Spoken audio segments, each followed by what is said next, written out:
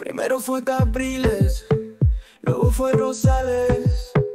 También anduvo Leopoldo dando su respaldo a Guaidó y su combo. Y el mundo traído por María Corina, sacarnos de su mundo, apartarnos de lo inmundo. El rival es siempre el mismo, aquel del Samán del Güere, el de la boina que huele, que huele a azufre allá en el imperio. Ahora con super, super bigote, no hay mayor misterio. Cementerio, las cartas están echadas, el hambre toca tu puerta. Otra vez salió carne mechada. Vives en el Guaratar y cargas un yate, 4x4 en el garage. ¿De qué te sirve tener tantas naves si no las puedes manejar? Tu padre está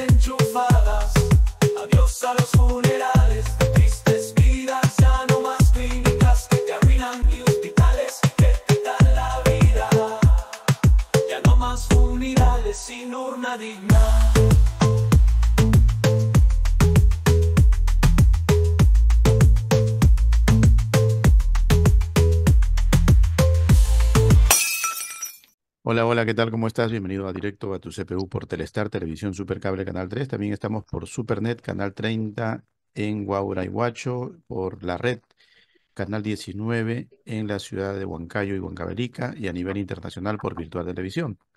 Como de costumbre, conectados con el mundo. Hoy vamos a estar conectados con eh, la hermana República de Argentina y al mismo tiempo también vamos a conectarnos con la realidad venezolana. Ustedes pueden ver en el fondo que tenemos a dos personajes eh, bastante nombrados en los últimos días y cada vez que se acerque más la festividad patriótica peruana, que es el 28 de julio, pues también al mismo tiempo va a haber una festividad electoral en la hermana República de Venezuela, donde eh, se supone, Dios mediante, pues tendremos una eh, situación electoral democrática, ¿no?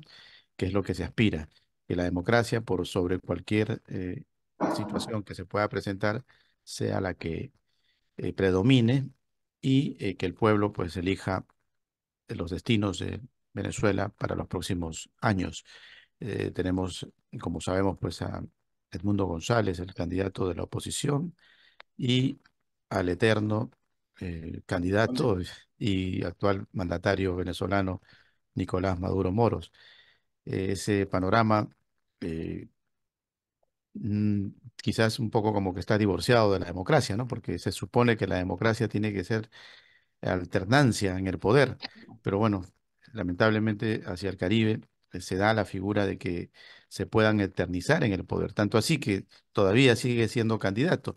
Ya desde ese punto de vista ya partimos de algo antidemocrático, pero bueno, hay que aceptar de que eh, las cartas están ahí en la mesa y que va a haber un, eh, un eh, programa electoral que va a ser este, de alguna manera supervisado internacionalmente a través de la autopista de información Internet.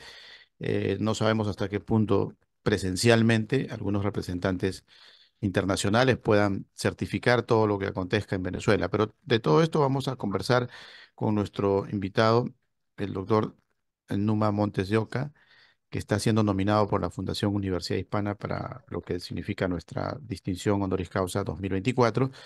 Y él es un abogado eh, que ha estudiado pues en, en Venezuela, en la Universidad Santa María, y, y vamos a preguntarle inicialmente qué hace en la Argentina. ¿Es producto su salida de Venezuela de estos años eh, de poder perdurable que tienen nuestros hermanos venezolanos un tanto ligados al, al militarismo? ¿O simplemente usted se fue antes, doctor? cuándo fue su salida. Bienvenido y gracias por participar. Muchas gracias, Jorge. Muchas gracias. Muchas gracias por la invitación al programa y, y sobre todo a la, a nominación que me hacen desde la Comisión Hispana por, por, bueno, siempre es un, un, un honor recibir este tipo de, de mención.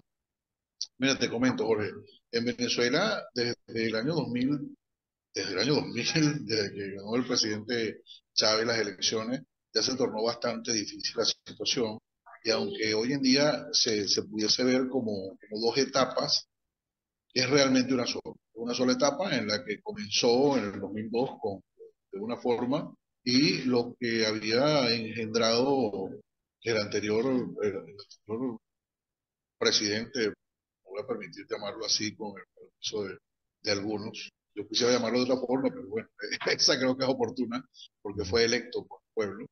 Y, pero bueno, lo que él engendró en el, eh, fue un, un, una, una debacle que está siendo administrado ahora por este otro, ese sí no lo voy a llamar presidente, porque él no fue electo por el pueblo, es un, es un mandatario de facto, eh, Maduro, nunca, nunca realmente gozó de la aprobación de, popular, ni de una elección popular, porque todas de, de las, que, las que él pretende que adjudicarse, todas fueron manipuladas por, por los organismos que, bueno, ya se ha visto muchas veces por la televisión eh, y por los medios de comunicación, han sido, pues, definitivamente atroces la, la, los, apropiación del voto que se ha hecho popular.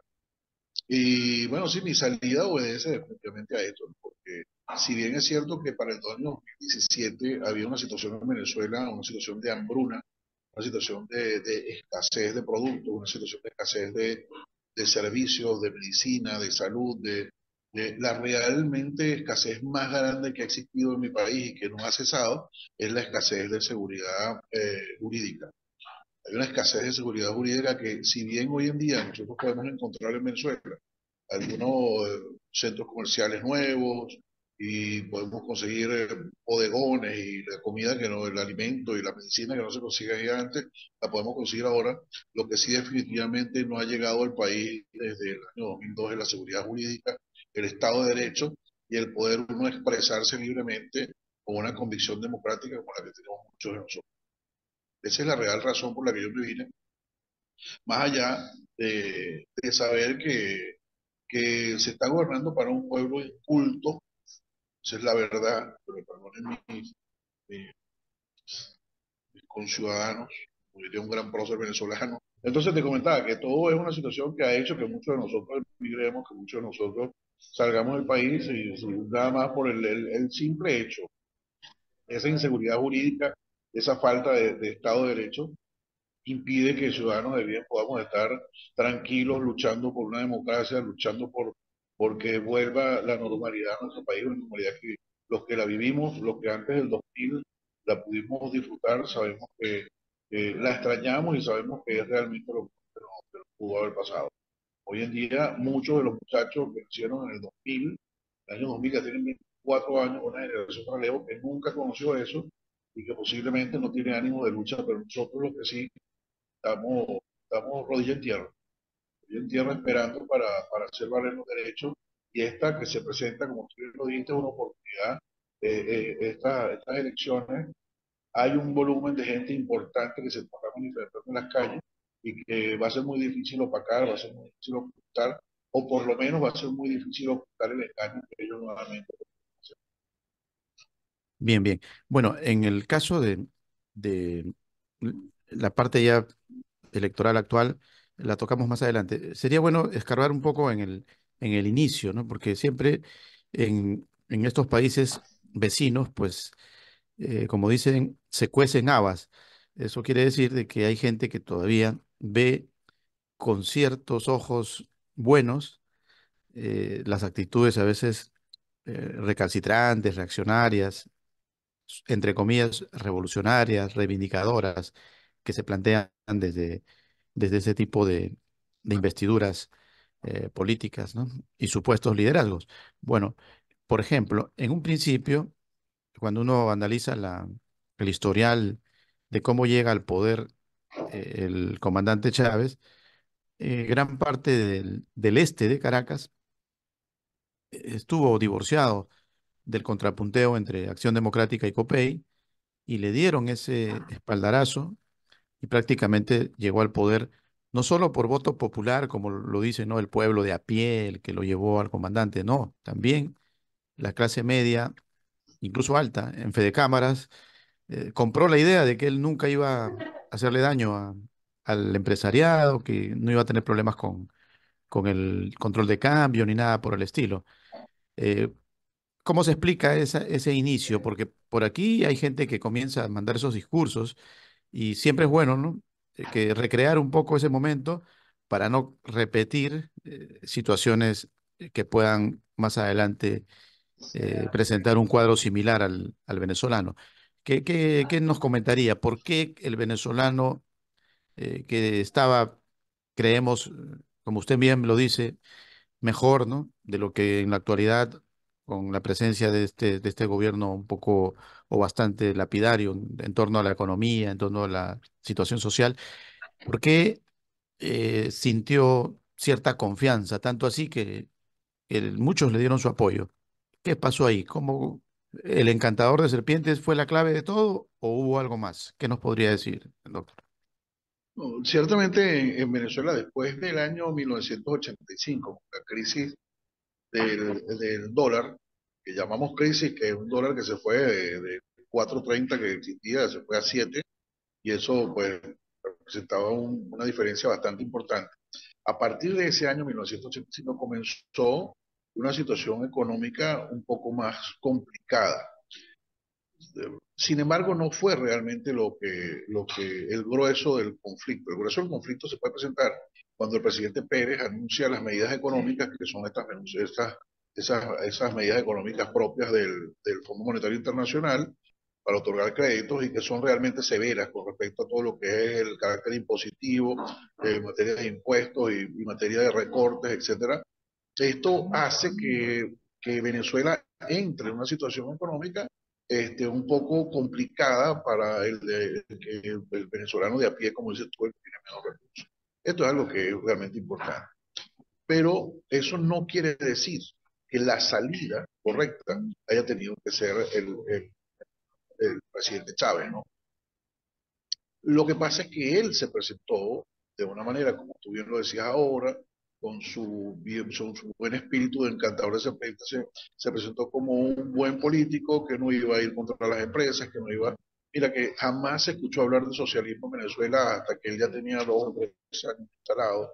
Y, la verdad, eh, no era algo que, que, era previsible, era simplemente un soldado que había traspasado la, la milicia para llegar, o, o, lo militar, perdón, para llegar a, a, la política, bueno, y que fue bien aceptado en Sin embargo, ya a partir del 2002, cuando él comienza a dar unos visos importantes de un, de un autoritarismo y de, un, y de ser este, autoritario, y no, no, solamente autoritario, sino además déspota en sus decisiones, cuando despide a todo aquel grupo de personas que, que se hicieron paro de la industria petrolera, cuando un paro petrolero que se mantuvo durante tres meses, eh, él, fue incapaz de tomar medidas o de escuchar al pueblo, porque ese era el pueblo que estaba hablando, sino por el contrario, pasaron hasta el día que murió, tuvo 13 años o 11 años después de ese paro, eh, eh, culpando al paro de todo el mal que sucedía en Venezuela.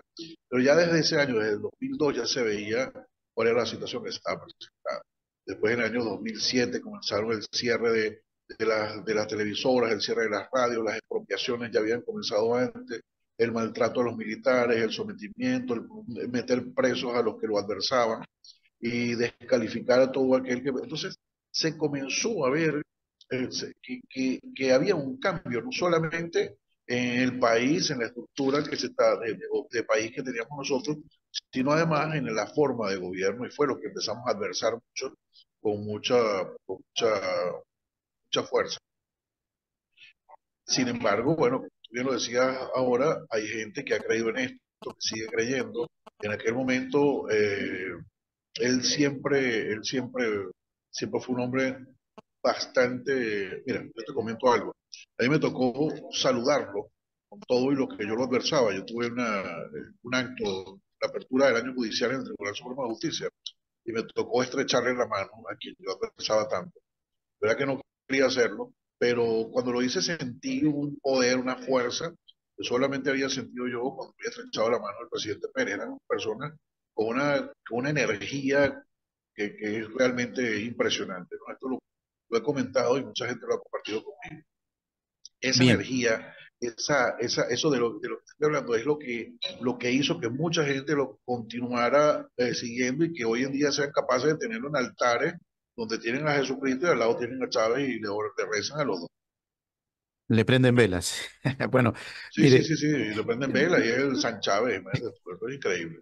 Lo importante sería que usted nos dé la clave. Por ejemplo, ¿qué le diría usted a un ciudadano que por aquí eh, hay varios que están con esa eh, con ese discurso, ¿no? Lapidario, revolucionario. ¿En qué cree usted que se equivocaron? ¿O cómo no equivocarse? ¿Cómo, ¿Qué haría usted si volvería a ese momento? ¿Y qué le diría a su gente para que evitar todo lo que pasó en Venezuela? ¿Se pudo haber evitado o, el encantador de serpientes era tan convincente que, no había forma? Eh, lo que pasa es que lo pasa es que nosotros no quisimos escuchar, no quisimos escuchar a, nuestro, a nuestros hermanos de Cuba, por ejemplo, que bastantes nos advirtieron de, sobre, sobre ese tipo de política que se venía desarrollando desde la candidatura del presidente Chávez. No lo quisimos escuchar, no lo entendimos, nos, nos pensamos que nosotros éramos ajenos a esa situación. Y lo que yo le puedo recomendar a los países vecinos nuestros, a los países que están atravesando una situación como esta, es que no se crean diferentes, es que no piensen que no les puede pasar porque, porque por cualquier razón que ellos eh, eh, esgriman, sino que por el contrario, todos estamos expuestos. Esto es, chicos, como le pasa a cualquier familia. Cualquier familia puede llegar uno de los, uno de los hijos o el esposo y convertirse y transgredir la norma. Y si nadie reclama y si nadie lo ve y si nadie, él va a seguir haciéndolo porque, bueno, porque se lo permite. En este caso, la promesa, la promesa, bueno, déjame decirte que está demostrado que el sentimiento más fuerte del ser humano no es, no es el miedo, es, es la esperanza, es el sentimiento más grande que hay. Y yo siempre comento que en la Iglesia Católica, por ejemplo, hace 2024 años estaba Jesucristo ofreciendo milagros y todos los domingos va la gente a la iglesia pidiendo su milagro también. Muchos lo reciben, muchos no, pero todos van a pedirlo porque la esperanza es lo que realmente mueve esa enorme masa de, de, de, de perdientes católicos a nivel del mundo. Igual pasa con la política.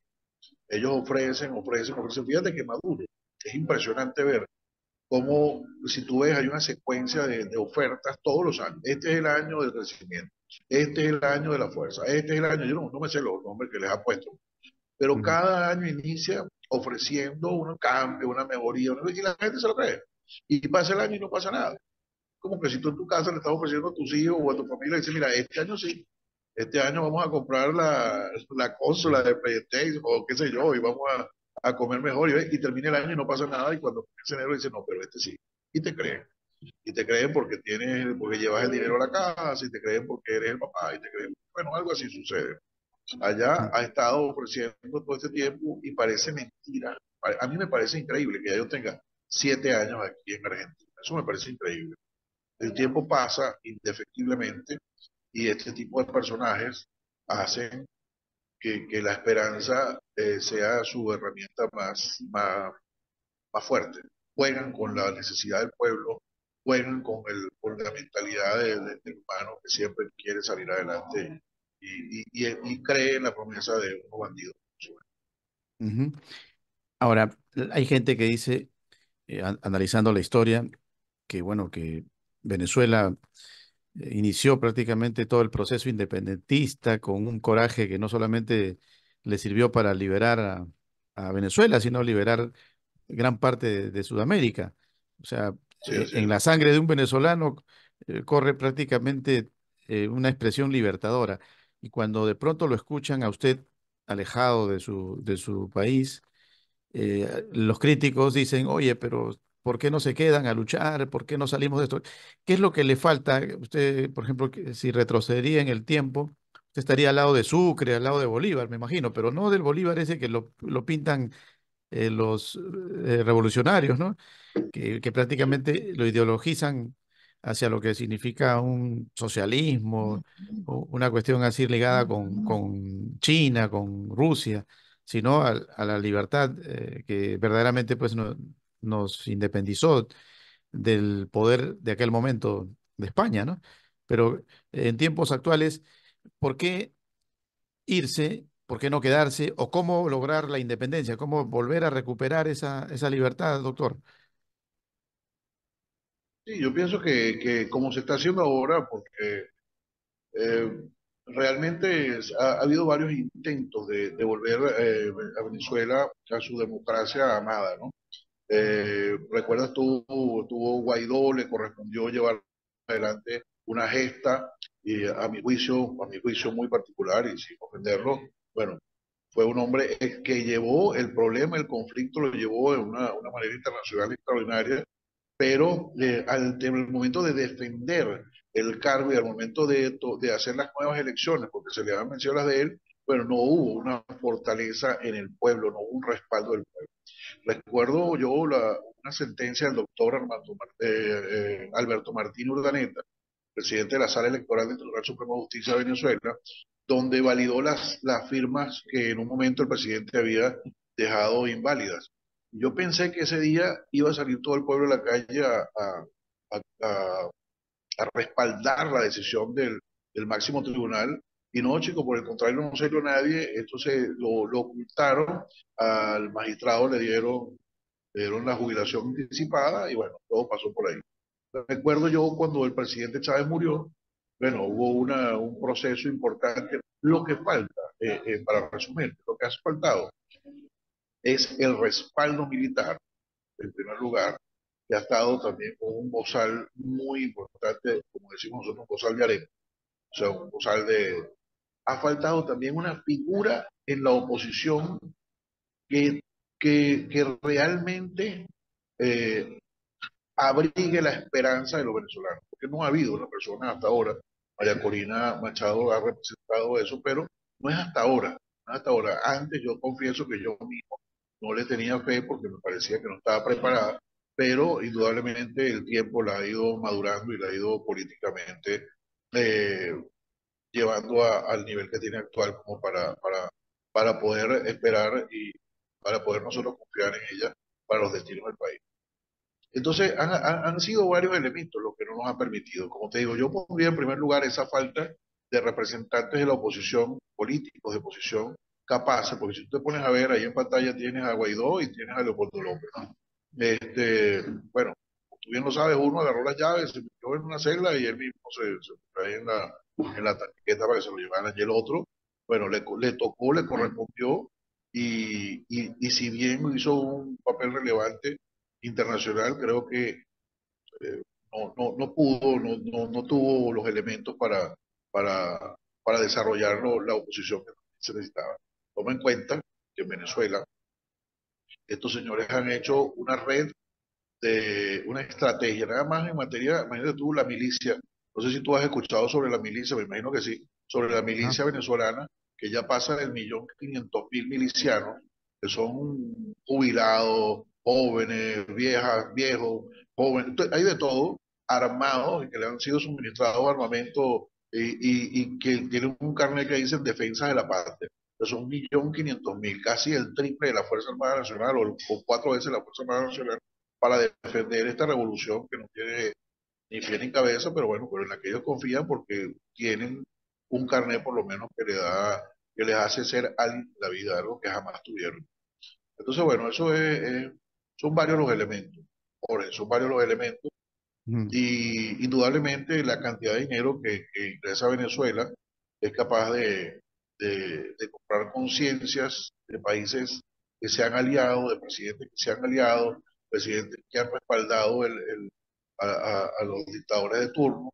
También hoy en día tienen un conflicto muy grande que es que países como Irán, como, como Rusia y China tienen grandes inversiones en, en Venezuela porque bueno, se les ha, se les ha se les ha dado eh, una cantidad de prerrogativas, se, se les ha empeñado el país a ellos y hoy en día, bueno, ellos son también quienes salen a defender sus inversiones, no solamente en la política nacional, sino las inversiones que ellos mismos tienen. Entonces, es toda una red de conflictos que nos hacen, nos hacen, nos han hecho dudar. Pero como te decía, hoy en día hay una esperanza, hoy en día hay una opción de cambio, hoy en día hay que respaldar esa opción, creíble o no creíble. Eh, la estrategia que se está utilizando es adecuada, me parece extremadamente buena. Eh, todavía no creo que lo permitan, no creo que estos corajidos se dejen llevar, se dejen quitar su guarida o su, el gueto que tienen ahí, no creo que sea tan sencillo, lo han manifestado, ellos han dicho que no salen ni por la fuerza, ni por las armas, ni de ninguna manera, y es que lógicamente no tienen a dónde ir, no, no sé si irían a, a qué país irían, a Cuba, a Bielorrusia, no sé, estos países aliados de ellos, pero lo dudo mucho, porque ellos ahí hay mucha, mucho dinero invertido, hay mucho, muchos compromisos adquiridos con todos estos, estos gobiernos de facto en el mundo. Y bueno, la verdad es que es bastante complicado el panorama. Así es. Bueno, en el caso ya particular suyo, ¿no? cuando me dice que sale hacia la Argentina, ¿por qué se va a la Argentina? ¿Por qué esa elección? ¿Y cómo le ha ido por allá? ¿Cómo, cómo ve, por ejemplo, usted llega en, en gobierno kirchnerista? O sea, de alguna manera, eh, de alguna manera vuelve usted a, al mismo panorama. Eh, en algún momento No es el pensó, mismo panorama.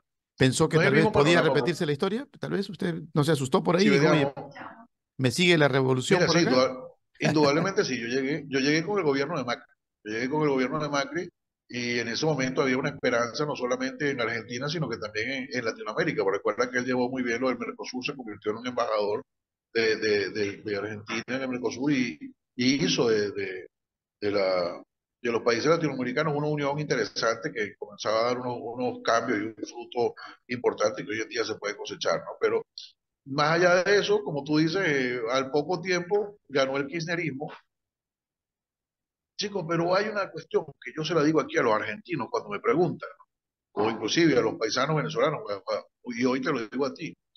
Eso de tener la oportunidad de equivocarse cada cuatro años, eso realmente es una, una, una virtud en un país. Ellos aquí se pueden equivocar, ellos algunos dicen ahorita que con, que con Milei se equivocaron y otros lo respaldan absolutamente. Y otros decían que se equivocaron con Cristina y otros, bueno, la realidad es que está bueno equivocarse cada cuatro años. El problema tenemos nosotros que no nos dan la oportunidad de equivocarnos. Nosotros, bueno, nosotros nos queremos equivocar, pues queremos equivocarnos con, con, con María Corina y no nos dejan. Quisimos equivocarnos con Leopoldo López y no nos dejaron. Quisimos equivocarnos con, con Enrique Capriles y no nos dejaron. Quisimos equivocarnos con Guaidó y no nos dejaron. Entonces no nos han dejado de equivocar. Eh, eh, eso es lo que nosotros hoy en día estamos reclamando. Y yo te digo, aquí en Argentina la diferencia es esa.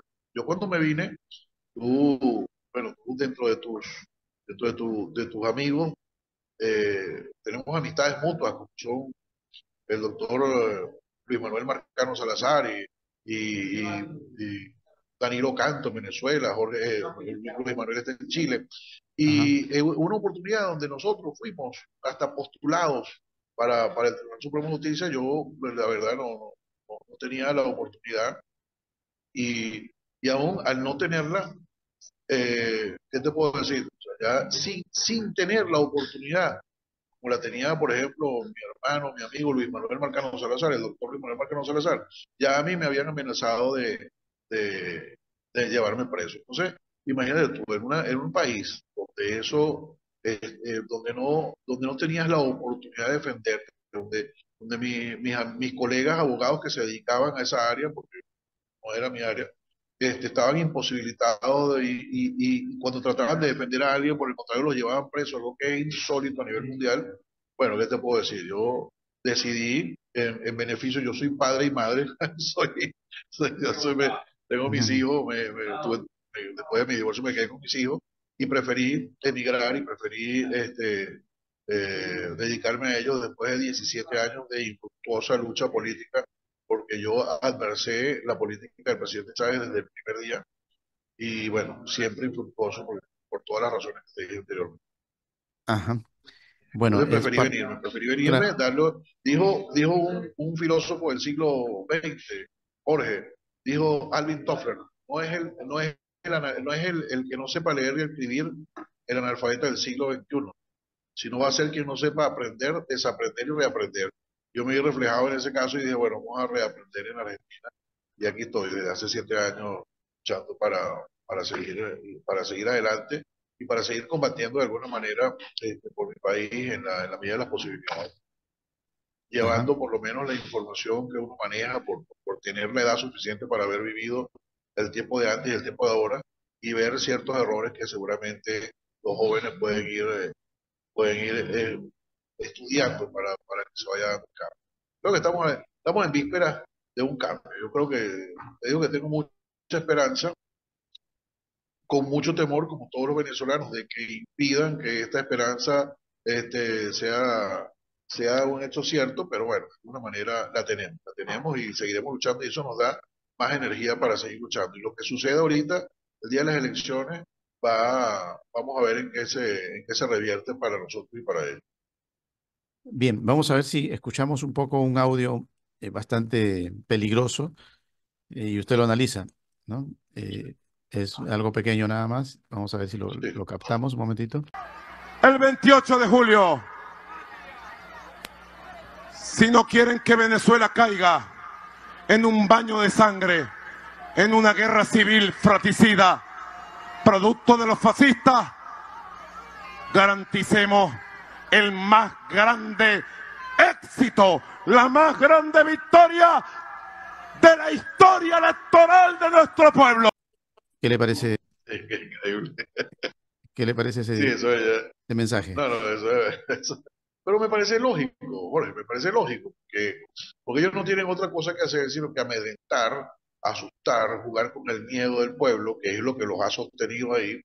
Y, y, ojo, yo estoy absolutamente claro que lo van a hacer, como te dije antes, tienen un grupo de milicianos de más de un millón quinientos mil venezolanos con armamento y, y, sin, y sin ningún tipo de, criterio para manejarlo, que están eh, eh, están en pos de defender eso que él está diciendo. Y los va a sacar a la calle, va a sacar los militares que tenga a la mano, y todo esto definitivamente es algo de lo que estamos nosotros después.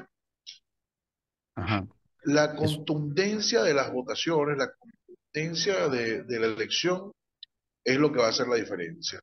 No solamente la contundencia de la elección, sino una vez más, nosotros tenemos que confiar en la Fuerza Armada Nacional para que respalde la decisión de un pueblo si estos señores de la Fuerza Armada Nacional se vuelven a divorciar, se vuelven a, separar de la decisión del pueblo, estarían llevando, no como dice Maduro, por, obra de una, como que dijo él, de una, de una oposición fascista y todo esto, sino sería lo que pase allá es consecuencia directa de una, de una postura que tome la Fuerza Armada Nacional con respecto a una votación popular que definitivamente va a arrasar votos.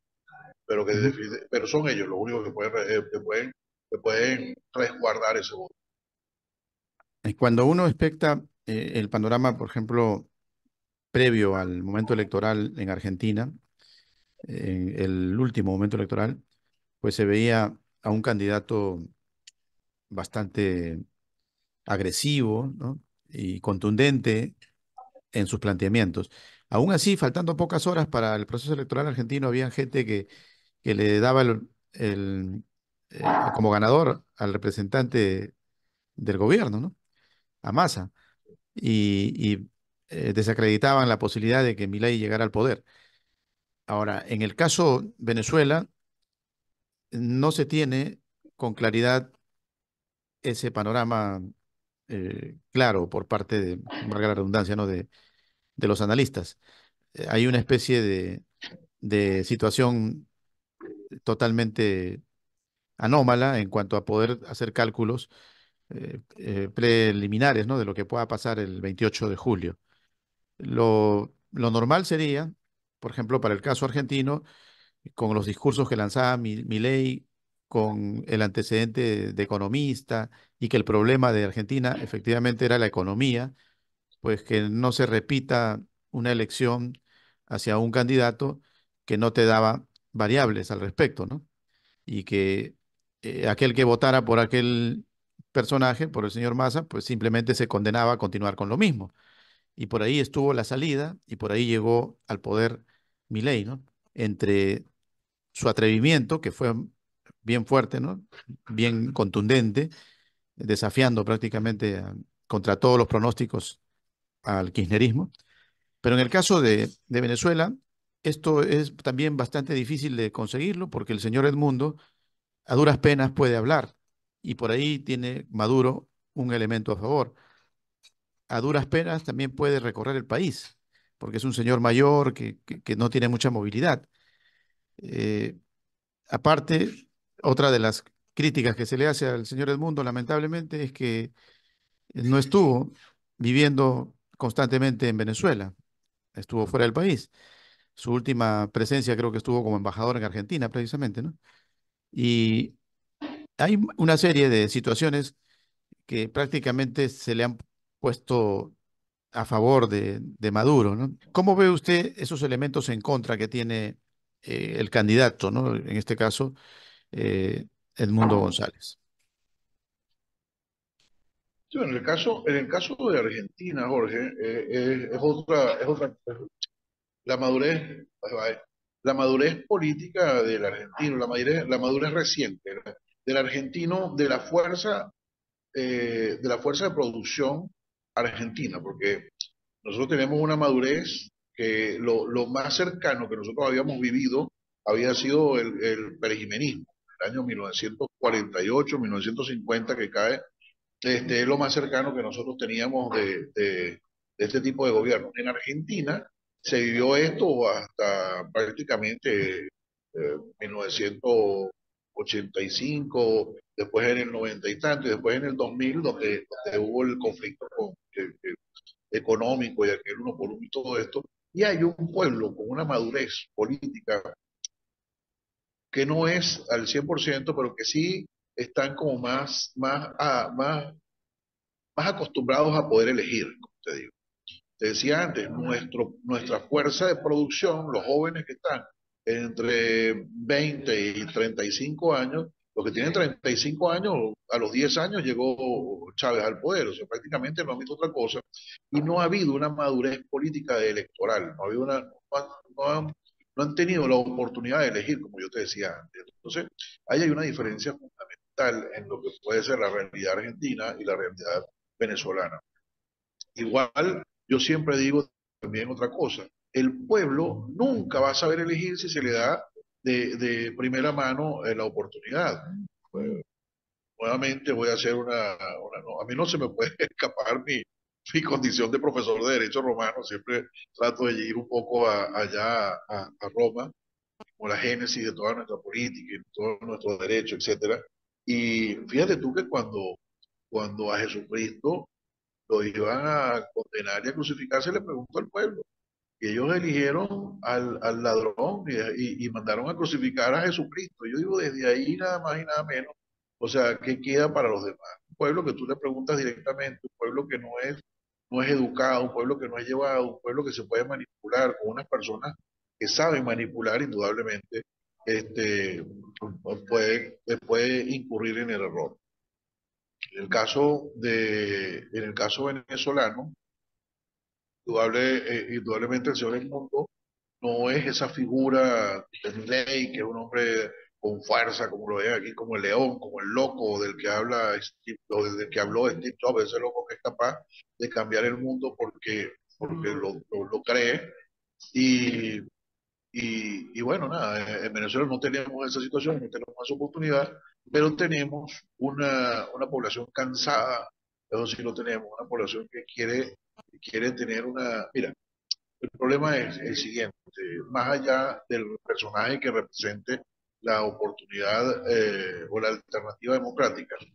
El problema es que en Venezuela hay una, hay una ficción, hay, una, hay un espejismo de, tranquilidad y de paz. Esta revolución ha mutado mucho, esta revolución primigeniamente eh, cubana ha evolucionado mucho y hoy en día han sido capaces de preservar ciertos elementos de la democracia para poder seguir ellos eh, eh, gobernando el país. Pero la gente está cansada, porque la gente se va dando cuenta de que están siendo manipulados, de que no basta tener cuatro o cinco bodegones y tener 10 o 15 centros comerciales regados por el país o bingo, o sea, o, o, parecer que es un país de primer mundo cuando realmente, como te decía en principio, no tienen una, no tenemos, los venezolanos no tenemos una capacidad de elegir, los venezolanos tenemos una capacidad de opinar, donde cualquiera, como tú has visto, no sé si viste todo lo que pasó con las personas que albergaron, que le dieron comida y que trasladaron tanto a Edmundo como a María Corina Machado, este, que no sé si viste que los metieron presos, que los de, cerraron los locales, le quitaron los, bienes de producción, sencillamente por brindar apoyo a estos seres de oposición. Eso es algo realmente eh, problemático que la gente ya está cansada. La gente está cansada, la gente quiere salir de eso y eso trasciende la figura del candidato. Eso trasciende porque definitivamente no se está votando por un candidato, sino se está votando por, como el bien en el caso Milei, por no seguir con lo mismo que teníamos desde hace 20 años. En el caso Milei, si aquí se hubiese votado por masa, yo no puedo imaginar lo que estuviera sucediendo ahorita. Este, pero bueno, tampoco es imaginable. Sucedió, es, un paso adelante y así lo tenemos que ver. Como le digo yo a los argentinos, el que no esté de acuerdo, dentro de cuatro años, ya tres, va a tener la oportunidad de volverse a equivocar.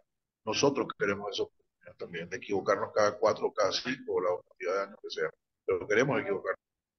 Así será. Bueno, también eh, cuando eh, conversamos con Argentina o conversamos con Venezuela, eh, da la impresión que estuviéramos conversando con los mismos factores nocivos para la economía de esta parte del continente. ¿Cómo está el contrapunteo entre Argentina y Venezuela? ¿Quién tiene más devaluada su moneda? ¿Quién está más pobre? ¿Qué diría usted, doctor? No, no, indudablemente Venezuela. Indudablemente Venezuela. Venezuela, Venezuela está, o sea, en cantidad de ceros, llevamos unos cuantos ceros adelante. Aparte, eh, la, la, condición de vida es muy distinta, ¿no? De aquí ciertamente, pues, se ven cosas que no se ven en Venezuela por cuestiones de clima, como puedes conseguirte gente en las calles viviendo, yo no sé, yo hace siete años no, no, estoy en Venezuela, pero aquí se ven ese tipo de cosas, pero es como consecuencia de que, de que se, le, se, se, se, puede dar a que hay organizaciones que le dan comida a la gente en la calle, hay, organizaciones, hay, hay una estructura, que hay una estructura que permite que el ciudadano tenga una buena vida. Aquí la situación política eh, si bien aquí las televisoras, la televisión más vista son los canales de noticias y todo el mundo está pendiente de las noticias todo el día y hay una hay un presidencialismo, bueno, como en toda Latinoamérica, la verdad es que no es igual que en Venezuela. La, la, manipulación que han tenido en Venezuela desde el año 2000 en adelante, que se apropiaron de los medios de comunicación, de las televisoras, la radio, de, de todo, absolutamente todo, posibilidad de opinar, eso hace una diferencia enorme, económicamente y prácticamente en la calle. Entonces, si tú me dices a mí qué país está peor, yo pienso que definitivamente Venezuela, porque si tú sacas la, la cuenta de un salario mínimo en Venezuela, que son, creo que ahorita son 5, 6, 10 dólares, no sé cuánto es, eh, y, y, un maple de huevo, un cartón de huevo, se dice allá, o pollo, o, o haces un mercado y ya se te va todo eso, bueno, mira, habría que ver, habría que ver, o qué país está peor, porque aquí un, un suelo, un sueldo medianamente, medianamente, puedes todavía pagar tu transporte y pagar tu, tu vivienda. Allá no puedes, allá no, allá con un sueldo mensual no puedes pagar ni siquiera un poco de una alimentación de una semana. Lo que pasa es que, bueno, en estos días tuve yo conocimiento de una muchacha, este, que me, me comentaba que compró un equipo de esto, un, un hornito de estos air fried, que son que hornean sin aceite, compró una licuadora, compró además este, unas cuestiones para la cocina, compró varias cosas y las compró por 80 dólares. Indudablemente, en un lavado de dólares que tienen varias empresas allá, que llevan todas las cosas de cualquier parte del mundo y lavan, bueno, hacen una venta, imagínate tú, 80 dólares no cuesta ni siquiera el air fry. Y ella compró un promedio de 10 cosas por ese precio. Eso me parece a mí increíble. Eso, eso indiscutiblemente no es que una economía esté buena, sino que hay una ficción, como te decía antes, que está haciendo pensar a las personas que sí, que está, el país está bueno. Hay muchos venezolanos que se han devuelto a nuestra patria pensando en que van a estar mejor y mira, ahora no hayan cómo salir.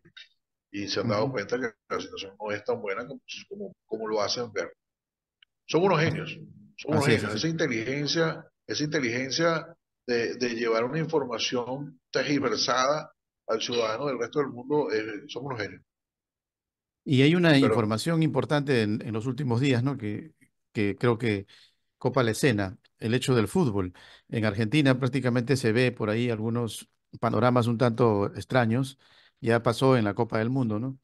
Donde la gente, pues, literalmente no tenía para, para vivir, pero estaban, estaban felices, ¿no? Porque habían resultado campeones del mundo. Y ahora acontece que son campeones de América y, y por ahí los, los que se preguntan, ¿no? ¿Hasta dónde llega el espíritu de la persona para, para sentir alegría? Pues el fútbol parece mentira, eh, ayuda un poco a paliar estas circunstancias, a pesar de la, del, del flagelo eh, económico por el que atraviesa Argentina. Y en este caso, Venezuela también ha vivido un poco su, su espejismo, ¿no? Con la Vinotinto haciendo un, un buen papel en la última Copa América. ¿Cómo ve el fútbol usted como factor eh, ya de sociabilización y de tal vez eh, una especie de salir del, del problema, ¿no? Una catarsis tal vez no una, ante, ante sí, toda la catarsis, crisis, sí, no, no, no para salir del problema, pero sí como catarsis. como catarsis. te, comentaba antes, te comentaba antes sobre lo que decía el poeta Juvenal en la décima de, de 120 años antes de Jesucristo, panet et. Y eso es parte del circo, por eso existió allá el Coliseo en Roma. Y por eso tú ves un país, por ejemplo, como Estados Unidos, donde hay tantos conflictos, bueno, nada más la cantidad de millones de habitantes que tiene, hace que se quintupliquen los problemas existentes. Y sin embargo, tú ves los fans de, del fútbol, del básquetbol, del béisbol, del bolita, allá, lo que jueguen, tiene millones de seguidores. Entonces nosotros, estos países que, no tenemos tantas oportunidades, porque pues, eh, allá en Estados Unidos es una cuestión mucho más, mucho más capitalizada, aquí dependen más del Estado, dependen más de una cuota que se les dan a, los a, los a los equipos, se, les, se les da un, un- una, sí, bueno, son unas cuotas para que subsistan y todo esto. Y bueno, indudablemente este, eh, son menos, de, menos los deportes que tenemos que, pueden brillar porque, bueno, porque la cuota se va dedicando a cada uno de los deportes en, un momento. Yo recuerdo que en Venezuela, cuando fue el momento de, los nadadores que, que, fueron campeones olímpicos, bueno, se le empezó a inyectar a la natación, pero después cuando salimos campeones del béisbol en esta competencia que se hace a nivel latinoamericano, bueno, entonces también se le empezó a inyectar. Ahora es muy bueno porque se le empieza a inyectar a un deporte como el fútbol, que definitivamente arrastra masas y que los niños consiguen ahí una oportunidad de, de, de dedicarse a algo que, que, más allá de la política pueda sacarlo de, de digamos, adelante, estudios, pueden pagarse estudios en cualquier parte del mundo y además pueden dedicarse simplemente al deporte. Yo, yo estudié, imagínate, yo estudié con nada más y nada menos con Omar Vizquel, estudiamos en bachillerato juntos y para mí es impresionante ver cómo, cómo ese muchacho que era un compañero de clase, cómo subió y hoy en día, bueno, 11 guantes de oro, etcétera, y próximo al gol de la fama y, y, y creo que el deporte sirve para, que, para oxigenar el cerebro de tanta política, de tanta cosa. Es, es, como tú bien lo dices, una catarsis, una catarsis que necesitamos y, y cada, cada paso que ellos dan, entiendo que van llevando una cantidad de dinero al país, porque esas organizaciones internacionales le dan, dan un premio en dólares a, a, las organizaciones, y bueno, eso va a hacer que, que, se promueva más el deporte y que haya más para que no dependa solamente del gobierno, bueno, ojalá lo repartan, ojalá lo, ojalá llegue a las manos que tiene que llegar y sea del uso correcto. Bueno, quizás eh, eh, hubiese sido mejor que se dedique al béisbol, doctor, y no hubiese estado en Argentina, sino en las grandes ligas. sí, bueno. sí, nosotros tenemos una buena, nosotros somos un país de tradición más, más béisbolista. Sí, sí, sí. muy buenos peloteros, muy buenos, claro, muy claro. buenos jugadores de béisbol. Bien, ya eh, para... Pero también, el también se viene desarrollando muy bien ahora. Bueno, valga decir, a mano de, de este el director técnico argentino, parece que ha Checho Batista. Sí. sí, sí, sí, Checho, sí. Bueno, bueno, doctor, entonces eh, lo importante es que al menos se tiene, como usted dice, la posibilidad de que se dé cada, cada cinco años, cada cuatro años, cada seis años, dependiendo de la legislación de cada país, esa posibilidad de, de equivocarse, ¿no? Si se equivocan, bueno, ¿qué vamos a hacer pues, si se vuelven a equivocar, ¿no? Ahora, ¿usted cree, cuatro, cinco años. pero usted cree ciegamente de que simplemente se trate de una equivocación o que todo está fríamente calculado, como diría Chespirito, y que no hay nada que hacer porque el poder electoral allá lo tienen dominado los, los que están en el poder? Es una pregunta muy difícil. Es una pregunta muy difícil porque, porque es el eterno cuento de lo que me dice el corazón y lo que me dice mi criterio, mi criterio responsablemente. ¿no? Este, Claro, claro.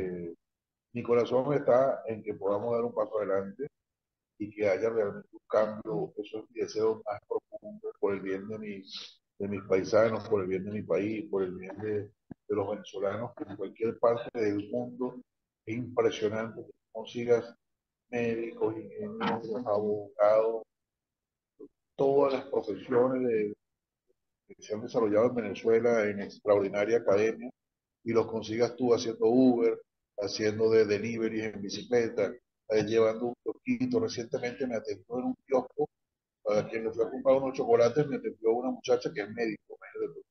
Y, y ah, eso es muy triste porque, porque tenemos mucho para dar, tenemos muchos estudios que realizamos porque en Venezuela la academia, como consecuencia de la, de la necesidad de, de atender esa industria petrolera tan grande y tan importante, se desarrollaron, se desarrollaron todas las áreas de- de conocimiento y hay muchos profesionales muy capacitados que, como te digo, están ahorita eh, haciendo labores que no es que sean malas ni mucho menos, pero sí que están preparados para hacer otra cosa y que valdría eh, eh, que retornen al país y valdría la pena que, que volvamos a, invertir nuestros criterios, nuestros conocimientos y nuestro valor en un país que tanto lo merece como Venezuela. Esa es la esperanza que tengo. Ojalá Dios permita que esto sea viable. No importa si es en, un año, en dos años, o en tres años, que, o en cinco años, o en diez años, que la gente dice, sí, pero es que si ganamos, diez años tardará la recuperación, no importa, no importa.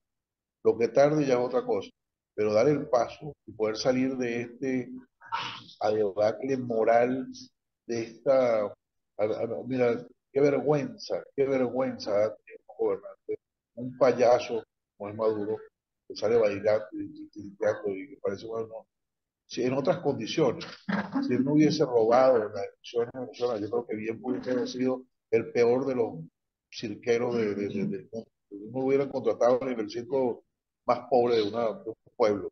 Es un payaso, realmente. Y, y, y que me perdonen los payasos. Un mal Bien, payaso. bien.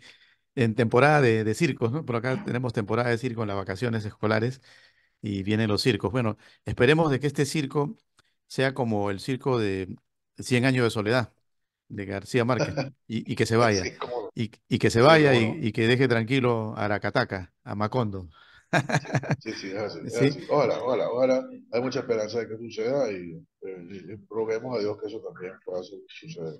bien, bien, doctor, ha sido un placer conversar con usted sobre la actualidad venezolana. Eh, creemos que eh, hay horizontes eh, positivos, más allá del, del tema electoral, a pesar de, de estas circunstancias, hay atletas, eh, personalidades profesionales que recorren el mundo y que eh, hacen quedar bien el legado de- verdadero de Venezuela en el historial latinoamericano y mundial. Y eso precisamente lo rescata nuestra Fundación Universidad Hispana y con personajes como usted, el doctor Numa Montes de Oca, residenciado en la hermana República Argentina y que seguramente promete volver pronto, eh, si es que todo eh, sale bien en torno a lo que significa la democracia, ¿no? en Venezuela. Eh, de todas formas, eh, recuerden que la cita es por Telestar Televisión Supercable Canal 3, también estamos por Canal 19, la red en Huancayo y Huancavelica, y a nivel de Guaura y Huacho por Supernet Canal 30, a nivel internacional por Virtual Televisión. Eh, bueno, otro día de gloria va a coronar vuestra admirable constancia, decía Sucre, doctor. Despídase, despídase de su gente. Bueno, muchas gracias Jorge, muchas gracias a, toda la, la- comunidad eh, venezolana en el mundo, de verdad son ellos los que motivan el que uno pueda seguir adelante luchando por, por el país desde cualquier área. Muchas gracias a, todos ustedes, los académicos también en Perú y en cualquier parte del mundo, que permiten este tipo de, de, actividad en la que se valora de alguna manera esta, este esfuerzo que uno hace por, por devolver el, el sentido democrático al país. Y además está decirte, Jorge, a ti especialmente el agradecimiento, o darte el agradecimiento a ti y, saber, mira, que el mundo, el mundo es más sencillo de lo que estos seres están profesando. Eh, la, vida, la vida es corta para gastarla nosotros siguiendo al peor de los, al peor de los guías, ¿no? Eh, no hay por qué, no hay por qué. No hay por qué. Nosotros elegimos y, y, la capacidad que tenemos de elegir es lo que nos hace diferentes a los demás, a los demás animales. nosotros somos de ese reino animal y lo que nos hace diferente es esa capacidad de razonar, de interpretar, de elegir, de pensar, de razonar y, darle un sentido a nuestra vida que sea un poco más llevadero, más alegre, más feliz. Y definitivamente es el momento de retomarlo en Venezuela, de salir de estos, estos seres oscuros, de salir de estos personajes que han destruido el, el, color, el, tricolor venezolano lo han destruido, han destruido la economía, han destruido realmente la, la alegría que siempre fue característica del venezolano, siempre, quedamos como, uno de los pueblos más felices del mundo y hoy en día creo que somos tal vez el más triste. No solamente allá, sino los que estamos afuera también. Eso, es una tristeza que paga cualquiera, saber que cada día está peor la paz. Muchas gracias, Jorge. Bien. muchas gracias a todos tus televidentes que, bueno, que, han seguido estos, estos, estos, estos cuentos, estos cuentos que a veces son historias que fastidian, pero que como tú bien lo decías antes, pueden servir para, o deben servir para que no caigamos en el error, para que no repitamos los errores que han venido sucediendo en otras latitudes. Para prevenir antes de lamentar, ¿no? Nadie sabe lo que tiene hasta que lo pierde. No se olviden. Bueno, nos despedimos. Recuerden, nos vamos con un, tema dedicado al momento electoral en Venezuela, el home run del mundo. Y con eso nos despedimos. Hasta la próxima, doctor. Gracias. Chao. Muchas gracias, Jorge. Muchas gracias. Hasta luego. Primero fue Capriles, luego fue Rosales, también anduvo Leopoldo dando su respaldo. A Guaidó y su combo. Y el mundo traído por María Corina, sacarnos de su mundo apartarnos de lo inmundo. El rival es siempre el mismo, aquel del Saman del güey, el de la boina que huele, huele a azufre allá en el imperio. Ahora con super, super bigote, no hay mayor misterio cementerio. Las cartas están echadas, el hambre toca tu puerta. Otra salió carne mechada, vives en el Guaratar y cargas un yate, cuatro por cuatro negarás. ¿De qué te sirve tener tantas naves si no las puedes manejar? Tu padre está a punto